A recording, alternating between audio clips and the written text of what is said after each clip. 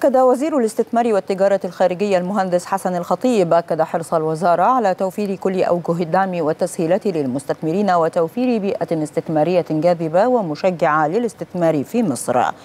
جاء ذلك خلال لقائه مع وفد شركة الظاهرة الزراعية الإماراتية وهي إحدى أكبر الشركات العاملة في مجال الإنتاج الزراعي العاملة في مصر.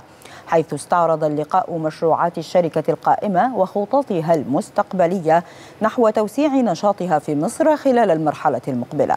وذلك في إطار توجه الدولة نحو تشجيع الاستثمارات في القطاعات الزراعية المختلفة. وأشار وزير الاستثمار إلى أهمية قطاع الاستثمار الزراعي في توفير احتياجات السوق المحلية وزيادة الصادرات المصرية للأسواق الخارجية.